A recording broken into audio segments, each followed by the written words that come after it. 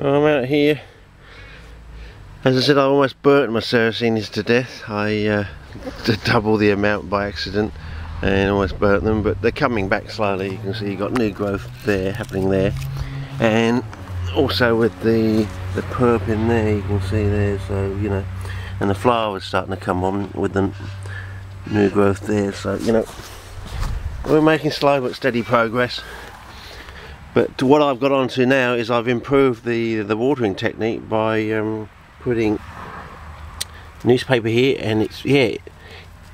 I've I've tried using a knife and cutting, you know, getting folding this paper like this, and just cutting it down like that. Very good, easy. That's probably all you really need. But I I like the idea of doubling up it once more, so you just just it's much easier just to just fold it over and what we'll do here is we'll move this pot out the way which we'll try and do now.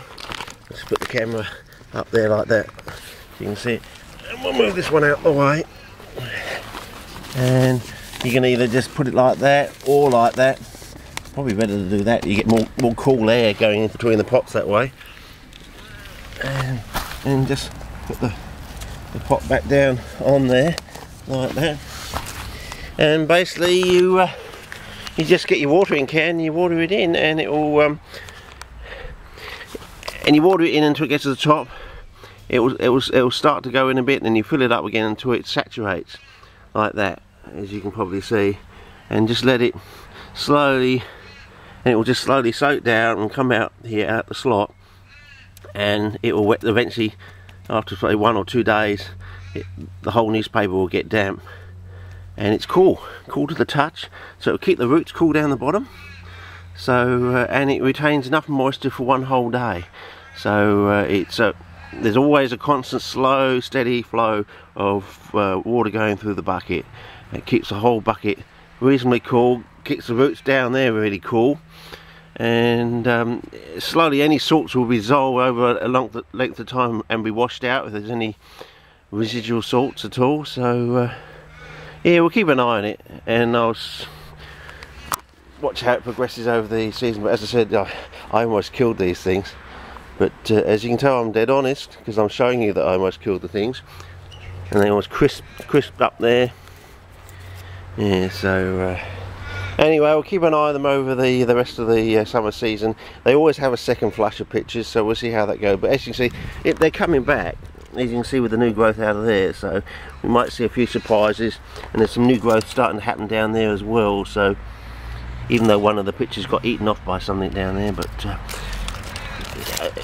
they're starting to expand. But I think what it was is I just wasn't keeping them wet enough trying to you know keep the rot away from these plants I was keeping them slightly too dry but with this new technique I think I'm going to get another win-win easy cheap everyone, you know, you can buy a bloody newspaper every day, so every day you can do another pot sort of thing, and you can forget your neighbour's newspaper or, or find other newspapers around the neighbourhood.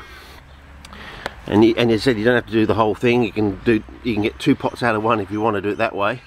And it's very easy just using a knife like that. So, uh, that's not a knife, yes it is. And uh, we'll see how it goes.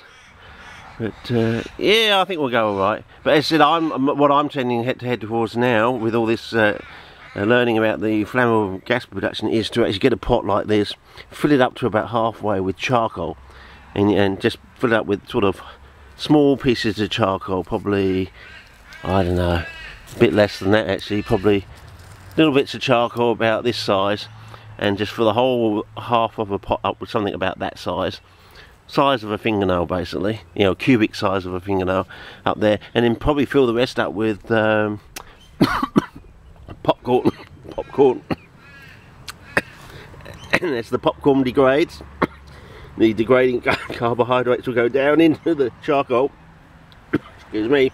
And gener generate reductive flammable gas which will stop the hopefully stop the um, popcorn from degrading and rotting and things like that. But also I think I've noticed from some of my some of my containers that it appears that the popcorn seems to be able to retain some of the flammable gas actually in inside its internal structure because it looks like it's got no gas you give it a flick and you can see the little bubbles come out of the the popcorn chunks but uh, that's only tentative at the moment but it, that seems to be what's happening so uh, we'll see how we go with that idea. But I'll set one up in the next you know, probably just before Christmas I think I'll, I'll, I'll set up I'll get a I'll buy another bucket and set it up with charcoal in the bottom popcorn in the top and we'll see how we go.